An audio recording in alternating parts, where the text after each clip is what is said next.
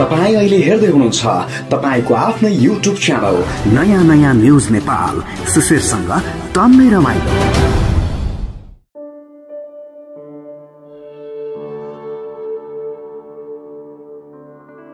सिनेमाको निर्माणको क्रम चाहिँ धेरै छ वास्तवमा होइन? तर त्यसपछिको सिनेमाको बिजनेस चाहिँ एकदमै डिजास्टर छ मैले देखेको चाहिँ।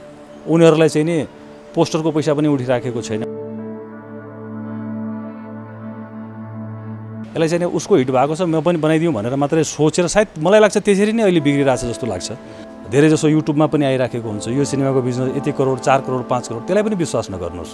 त्यहाँ पनि अनावश्यक किसिमको न्युजहरू आइराखेको हुन्छ। सिनेमा लसमा हुन्छ त्यो लेख्ने मान्छेले त्यतिकै पनि लेखिदिएको। मैले धेरै पाएको छु। अलिक फरक जनराका मुभीहरू छन्। एक्सन मुभीहरू पछिल्लो समय सफल हुन सकिरहेका छैनन्। होइन एउटा कमेडी चलचित्र अथवा दुईवटा कमेडी चलचित्र चलेको छ भनेपछि पछाडि चाहिँ नि पचासौँ चल कमेडी चलचित्रहरूले पानी पनि मागेको छैन। पहिला क्लाइमेक्स गर्छु जहाँ मैले चाहिँ ज्यान देखाउनु पर्ने छ भनेपछि मैले क्लाइमेक्स स्टार्ट गर्नुभन्दा पन्ध्र दिन पहिलादेखि मैले त्योभन्दा धेरै पहिलादेखि मैले बोइल भेज भेजिटेबलहरू मात्रै खाइरहेको थिएँ होइन। त्यसपछि चाहिँ नि मैले पन्ध्र दिन पहिलादेखि नुन पनि छोडेँ।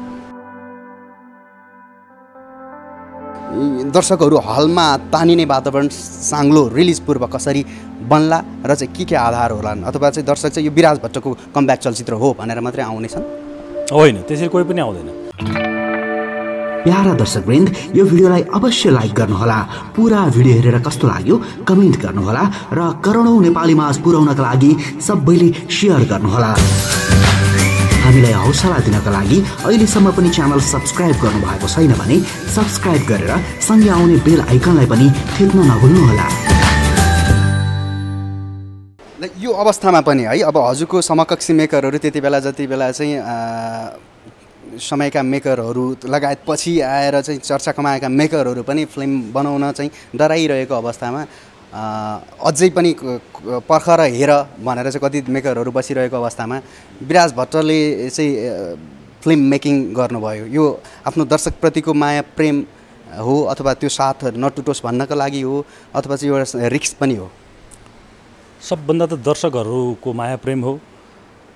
दर्शकहरूसँग विराज भट्टको एउटा इमोसन जुन छ त्यो इमोसन हो होइन? त्यसको लागि मैले एउटा चाहिँ चलचित्र आफैले पनि निर्माण गर्नुपर्ने आवश्यकता पनि देखेँ। र अब विगत यत्रो वर्षदेखि इन्डस्ट्रीमा काम गरिसकेपछि हामीले गर्ने भने पनि यही कुरा हो। यही इन्डस्ट्रीबाट चिजहरू पाएको हो। यहीँबाट नाम पैसा माया सबै पाएको हो। त्यसले गर्दाखेरि उहाँहरूलाई मैले फेरि एउटा सिनेमा बनाएर किन नदिने होइन? यो मेरो मात्रै चाहना होइन। यो दर्शकहरूकै चाहना हो।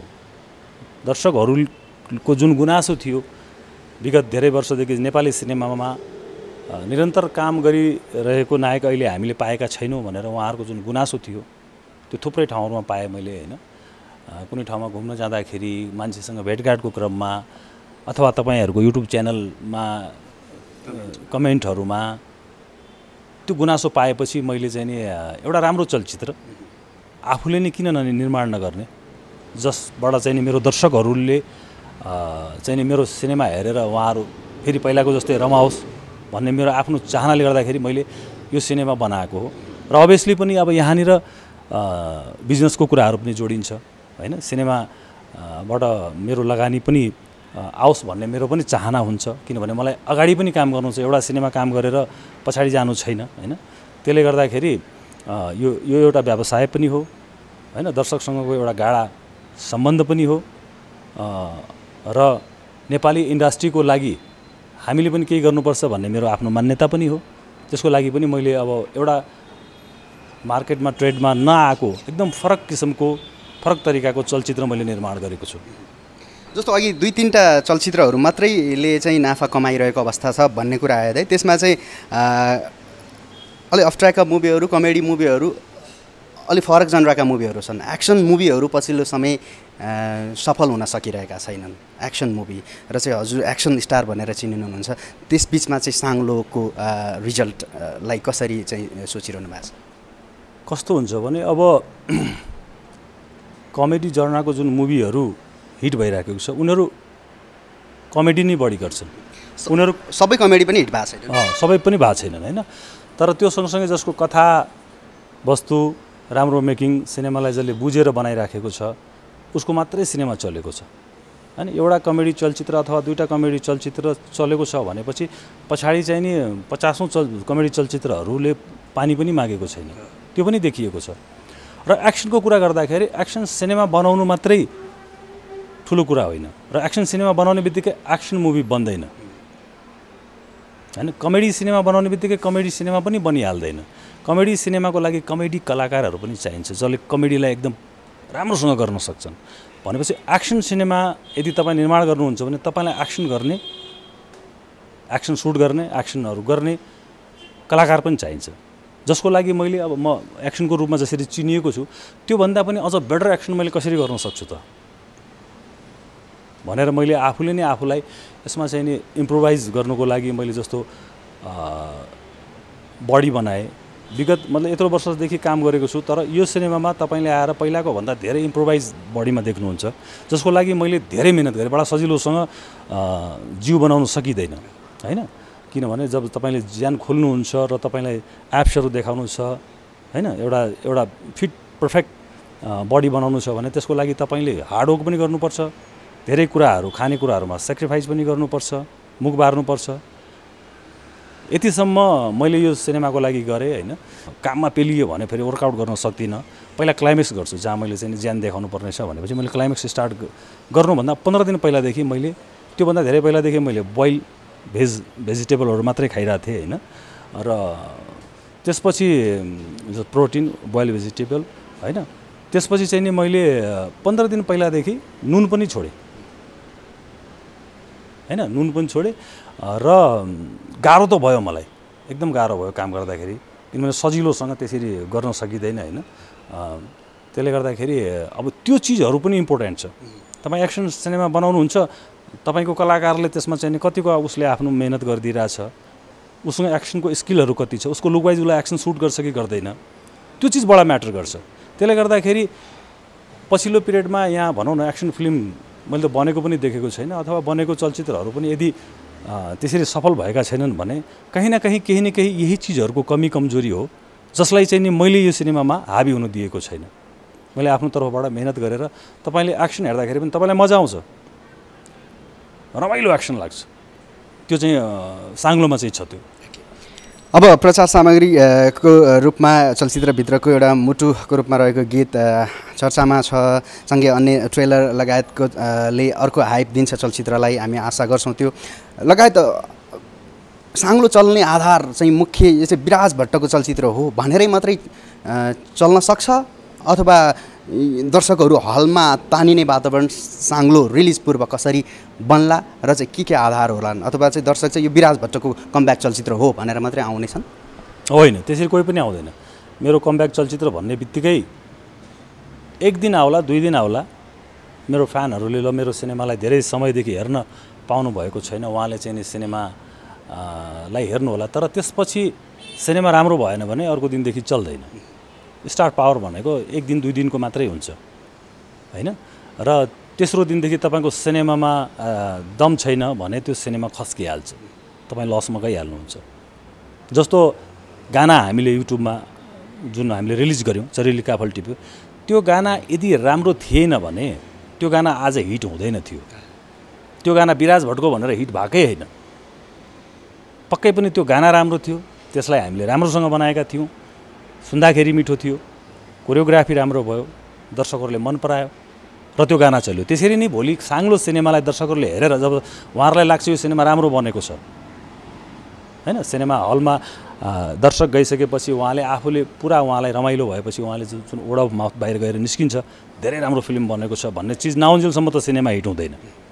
मैले बनाऊ या कसैले पनि बनाओस् दुनियाँमा होइन? धेरै धेरै धेरै मान्छेहरूले बनाएका सिनेमाहरू या ठुल्ठुला स्टारले बनाएका सिनेमाहरू पनि यदि सिनेमा राम्रो छैन भने सिनेमा चल्दैन। दुई दिनको बिजनेस चाहिँ हुनसक्छ इनिसियल होइन? राम्रो त्यो क्रेजले स्टार पावरले पनि थिएटरसम्म मान्छेहरू आउन सक्छ। तर सिनेमा चल्नुको लागि सिनेमै राम्रो हुनुपर्छ। त्यसले गर्दाखेरि पक्कै पनि मेरो सोचाइ पनि सिनेमा राम्रो हुनुपर्छ भन्ने मेरो मान्यता भएर मैले त्यसलाई चाहिँ त्यो रूपमा निर्माण पनि गरेको छु। म चाहिँ मैले बनाएको सिनेमा हो मेरो नामले सिनेमा चल्छ भन्ने चाहिँ पक्कै पनि मैले त्यो सोचेर सिनेमा बनाएकै छैन।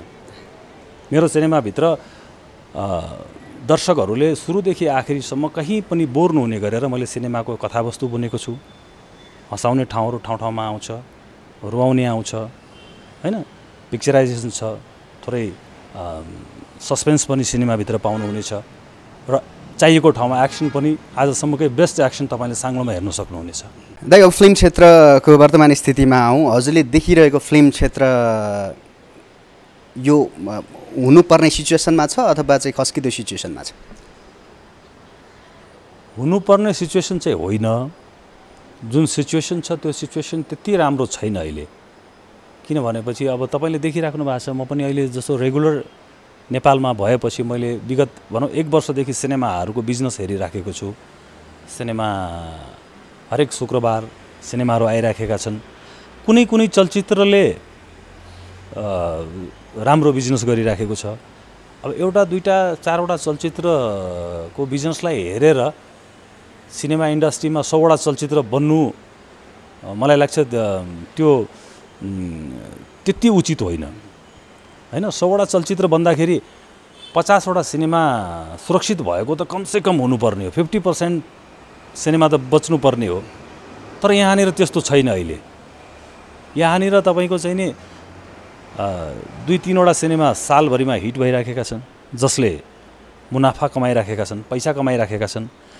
त्यसै गरेर तिन चारवटा चलचित्रले लगभग लगानी या आफ्नो ब्याजसम्म उठाउने काम गरिराखेका छन्। त्यसपछि दुई तिन चलचित्रले ठ्याक्कै आफ्नो लगानी सेभ गरिराखेका छन्। सात आठ या दसको को हाराहारीमा यो प्रकारको बिजनेस देखेको छु मैले। र त्यसबाहेक बनेका चलचित्रहरू। सौवटा चलचित्र यदि निर्माण भइराखेको छ अथवा असीवटा बनिराखेको छ अथवा सत्तरीवटा बनिराखेको छ भने सिनेमाको निर्माणको क्रम चाहिँ धेरै छ वास्तवमा होइन? तर त्यसपछिको सिनेमाको बिजनेस चाहिँ एकदमै डिजास्टर छ मैले देखेको चाहिँ। उनीहरूलाई चाहिँ नि पोस्टरको पैसा पनि उठिराखेको छैन। उनीहरूले डेढ करोड दुई करोड रुपियाँ लगानी गरेको। उनीहरूलाई एक रुपियाँ पनि आएको छैन। मैले मैले आफूले पनि देखिरहेको छु। मैले पनि अनुभव गरिराखेको छु। त्यस्तो सङ्ख्यात्मक हिसाबले त्यो बढी छ। त्यो रेसियो धेरै बढी भयो। त्यसले गर्दाखेरि अहिलेको वर्तमान वर्तमान परिस्थितिमा म के भन्न चाहन्छु भने निर्माताहरूले पनि सोचेर सम्झेर सिनेमा बनाउनुहोस्। कुनै कसैको सिनेमा हिट भएको छ भनेपछि त्यसलाई मात्रै दिमागमा राखेर तपाईँले सिनेमा निर्माण गर्ने होइन। तपाईँको सिनेमा हिट हुनुको लागि तपाईँलाई के चिज चाहिन्छ? तपाईँले कस्तो कलाकारहरूको सेटअपबाट सिनेमा जोगाउन सक्नुहुन्छ कस्तो कन्टेन्ट उठाएर जोगाउन सक्नुहुन्छ होइन? कस्तो सिनेमा तपाईँले निर्माण गर्नुपर्ने हो? यो एउटा व्यावसायिक कुरो हो होइन? यसलाई चाहिँ उसको हिट भएको छ म पनि बनाइदिउँ भनेर मात्रै सोचेर सायद मलाई लाग्छ त्यसरी नै अहिले बिग्रिरहेछ जस्तो लाग्छ। र यो चिज चाहिँ इम्प्रोभाइज हुनु जरुरी छ किनभने हाम्रो निर्माताहरू यसरी डुब्नु हुँदैन। हाम्रो सिनेमा निर्माण गर्ने जति पनि हाम्रा नेपाली दाजुभाइहरू छन् जति पनि प्रड्युसरहरू छन् उहाँहरू धेरै धनी मान्छेहरू छैनन्। सिनेमा क्षेत्रमा आबद्ध भएका निर्माताहरू कला र साहित्य संस्कृति र सिनेमालाई सिनेमासँग जसको रुचि छ इन्ट्रेस्ट छ जसले सिनेमा निर्माण गर्न खोजेको छ उहाँहरू धेरै पैसा भएको मान्छे अथवा एक दुई करोड रुपियाँ डुब्दाखेरि केही पनि फरक नपर्ने होइन अर्को बिजनेसबाट चाहिँ नि आइरहने खालका निर्माताहरू मैले देखेको छैन। कुनै होलान् बट छैन भन्दा पनि फरक पर्ला जस्तो लाग्दैन मलाई। त्यसले गर्दाखेरि पैसा कमाउनु गाह्रो छ होइन? त्यसलाई डुबाउनु चाहिँ नि बडा सजिलो छ गइहाल्छ कहीँ पनि होइन? त्यसले गर्दाखेरि म आउने निर्माताहरूलाई पनि त्यही भन्न चाहन्छु। सोचेर सम्झेर नेपाली सिनेमा निर्माण गर्दाखेरि व्याप व्यवसाय हो। तपाईँले पनि सोचेर गर्नुहोस्। तपाईँको लगानी डुब्नुहुन्न होइन? तपाईँ जोगिनुभयो तपाईँको फिल्म चल्यो भने इन्डस्ट्री फर्स्ट आउँछ। हाम्रो इन्डस्ट्री फर्स्ट आउनु पनि जरुरी छ। सालमा चाहिँ नि अरबौँको लगानी चाहिँ नि लसमा गयौँ भने त यो त हाम्रो देशलाई घाटा हो हामीलाई घाटा हो त्यसले गर्दाखेरि पक्कै पनि भोलिको दिनमा सोचेर सम्झेर मान्छेहरूले सिनेमा निर्माण गर्यो भने यसको भविष्य राम्रो छ। अहिले अहिले हामीसँग थिएटरहरू धेरै छन्। होइन पहिलाको भन्दा थिएटरहरू बढी छन्। एउटा समयमा हामी अल नेपाल रिलिज गर्न सक्छौँ। तपाईँको सिनेमा राम्रो छ भने हप्ता दिनमा तपाईँले आफ्नो पैसा उठाउन सक्नुहुन्छ। तर सिनेमा राम्रो बनाउनु चाहिँ जरुरी छ बुझेर बनाउनु जरुरी छ। लय लयमा कसैलाई देखेर धेरै जसो युट्युबमा पनि आइराखेको हुन्छ। यो सिनेमाको बिजनेस यति करोड चार करोड पाँच करोड त्यसलाई पनि विश्वास नगर्नुहोस्। त्यहाँ पनि अनावश्यक किसिमको न्युजहरू आइराखेको हुन्छ। सिनेमा लसमा हुन्छ। त्यो लेख्ने मान्छेले त्यतिकै पनि लेखिदिएको। मैले धेरै पाएको छु। हामी हामी त भित्री कुरा पनि बुझिराखेका हुन्छौँ होइन? एउटा कलाकार र निर्माता भएको नाताले मैले नेपाली प्रड्युसरहरूलाई यो मेरो चाहिँ एउटा चाहिँ सुझाव हो। बुझेर आउनुहोस्। पक्कै पनि सिनेमाको भविष्य चाहिँ राम्रो छ उज्जवल छ र राम्रो सिनेमा कसरी बन्छ त्यसमा चाहिँ तपाईँले चाहिँ प्रखर उत्रिनुपर्छ। तपाईँ अहिले हेर्दै हुनुहुन्छ तपाईँको आफ्नै युट्युब च्यानल नयाँ नयाँ न्युज नेपाल। सुशीरसँग टन्नै रमाइलो